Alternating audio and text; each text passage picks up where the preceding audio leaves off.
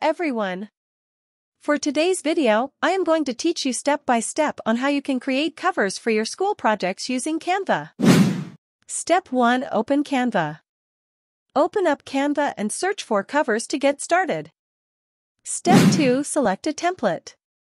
Explore Canva's wide range of cover designs for your needs. Use the search tool to narrow down your choices by genre, style, or theme. Step 3 Customize your cover design. Customize your cover to your exact style and tastes by using the incredibly easy drag and drop design tools. Change text, fonts, and colors in just a few clicks. Step 4 Try out different features. Take advantage of Canva's many features, including endless font and color combinations and access to millions of free and premium stock photos and vectors to perfect your cover. Step 5 Publish and share. Happy with the result?